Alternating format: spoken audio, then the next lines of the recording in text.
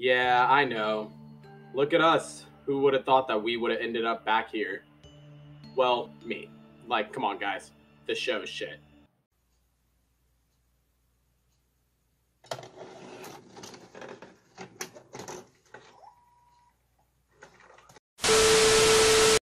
Right. So we're back here with another Boruto video, and you would think over the last two months since I posted my Boruto as a joke video, that I would at least have some positives to say about the show, seeing how we just completed an entire anime canon arc. Remember that, by the way. And I do, actually.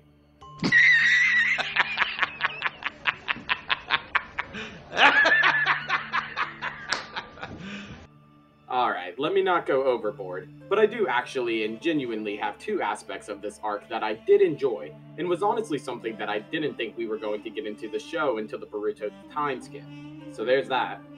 But of course, in the beautiful Boruto writing formula, for every one awesome aspect or idea introduced into the show, we're going to have another 18 episodes of ideas and content that would more than likely melt your brain down until you are a simple celery stick. And that's what we're going to talk about today. Yeah. The main point of this video overall, as you can see from the title, is why Sadara Uchiha didn't unlock her Mangekyo Sharingan. Which, for the most avid viewers of Boruto of this last anime canon Funato arc, will understand completely where I'm coming from and why that should not have been the case.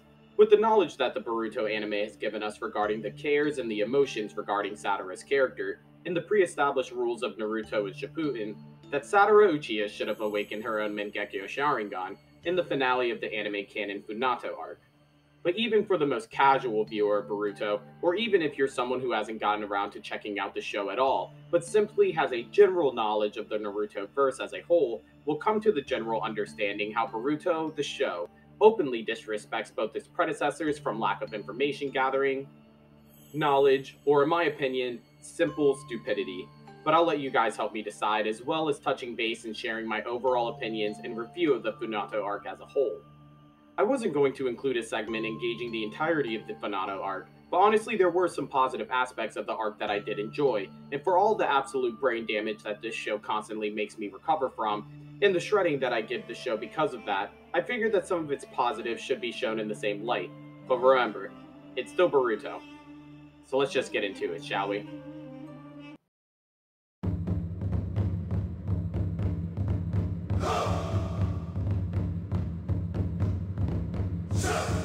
What is the Sharingan?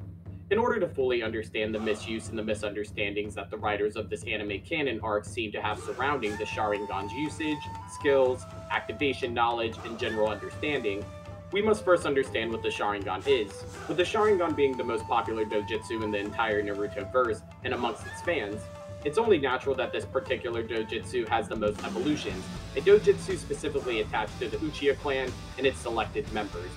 The Sharingan is a deep love or deep hate activated jutsu, depending on the situation, activated when the user experiences a powerful emotional condition with regards to a person precious to them. Their brain releases a special form of chakra into their eyes, therefore creating the Sharingan. There are five preceding evolutions to the Sharingan, with the single, two, and three Tomoe, the Mangekyo Sharingan, and the Rinnegan which we'll cover today in a brief overview to really lay out the context of our character in question, Sadara Uchiha.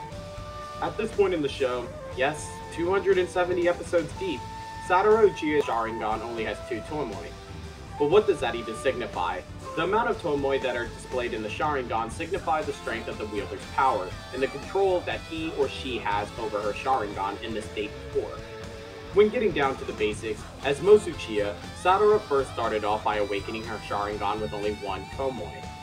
With only Obito and Itachi Uchiha being the only two known Uchiha to awaken their Sharingan with two Tomoe already, due to their extreme circumstances and prodigy-like talent. What makes this very interesting in the case of Sadara Uchiha, because while a single Tomoe Sharingan is very simple, only allowing its wielders the instant abilities to read people's movements and the ability to see chakra flow, as well as the ability to copy jutsus based on the wielder's own skill level and imitate movements and match the chakra flow of its opponent. It all seems pretty standard when it comes to the first evolution, but this is the catch. what makes Sadara Uchiha different and in a way almost prodigy-like in the same case as Itachi is that it is clearly stated and almost unheard of in the entire Naruto verse of a single Tomoe user to have the ability to use Genjutsu, except in the case of Sadara Uchiha, the first Uchiha to ever achieve such a feat, which in reality of the Naruto verse makes sense being the daughter of Sasuke and Sakura. It's not too far-fetched to say that she could be a prodigy or a genius of some sorts. But that's not where we're at in the current timeline of Boruto, are we? As stated previously, Sadara has now become a wielder of a two Tomoe Sharingan, which in reality, like the EMS compared to MS, it's basically a carbon copy of the single Tomoe Sharingan, but now grants its user complete mastery of ninjutsu and genjutsu that will continue to mature and grow with the user's skill and chakra level as well as sharper movements for themselves, and giving them the ability to see the enemy's movements just slightly faster. The main buff comes in the form is that the single Tomoe Sharingan cannot be controlled, and only awakens or activates when its wielders are in stressful and emotional powerful moments, compared to the two Tomoe Sharingan that can now be activated at will and will continue to mature with more use. The question we're now left with is, why is Sadara Uchiha's Sharingan progression stopped after more than 100 episodes since awakening her second Tomoe? The easiest answer to said question is that maybe Sadara hasn't gone through enough, or hasn't seen anything with her own two eyes, any traumatic experiences, since her and Team 7's fight with Deepa, which, in a way, could be interpreted as true until the final episodes of the most recent Funato arc or that Sadara simply hasn't trained enough or used her Sharingan long enough in order to fully awaken MS or even progress to a point to activate a third Tomoe. Which, unfortunately in Boruto, training arcs are not shown, as in Naruto and Shippuden, and digging into research for this video, Sadara has been shown to at least activate her Sharingan in every major battle following Team 7's fight with Deepa, with just her Jutsu usage at a criminally low rate. But with Jutsu usage criminally low across the board from every character of Boruto, there's simply no way you would be able to quantify that answer when compared to other Sharingan users, therefore chalking up that answer to the question to be unknown. With the three Tomoe Sharingan being the most common and recognizable amongst its users in the Naruto verse, as with the second Tomoe, the third Tomoe basically grants its users mastery across the board when it comes to ninjutsu and ability to predict your opponent's movements but as well as the additional buff of basic mastery of Genjutsu, to a point where even simple eye contact can put a user under Genjutsu, or you are able to break out of other Genjutsus with your own will. Now with a basic understanding of the Sharingan and its evolution, this moves us to the true climax of this video, the Mangekyo Sharingan and Sadara Uchiha. With it for a long time being considered the last known evolution of the Sharingan, the Mangekyo Sharingan can only be activated under a certain set of circumstances, as similar with the awakening of the wielders under the original Sharingan. Emotional based as with most evolutions, the Mangekyo Sharingan can only be obtained by witnessing the death of a loved one or killing the person that you are most close to. Which, in the case of Sadara Uchiha and most shinobi of the Naruto verse, with the exception of maybe Kakashi and Guy, the only example I can find, would be one of your teammates from your shinobi team, narrowing it down to either Boruto, Mitsuki, or newly introduced Kawaki. With the people out there that would say that it could be Sasuke, it has been well established and shown throughout the Boruto anime that Sadara is not genuinely close to Sasuke, with Sasuke even developing a more established bond with Boruto more than Sadara. Sakura could be a character that could be introduced into that conversation as well, and honestly, I wouldn't have any counterclaims to argue you. Sakura over the likes of Mitsuki, Kawaki, and Sasuke, I understand. Boruto, that's another story. With 68% of Sakura's screen time shared with Boruto over the entirety of the show so far, with multiple life and death situations when it came to Deepa, Boro, and others, as well as the emotional talks with Boruto as a whole, it would be easy to argue my point of view.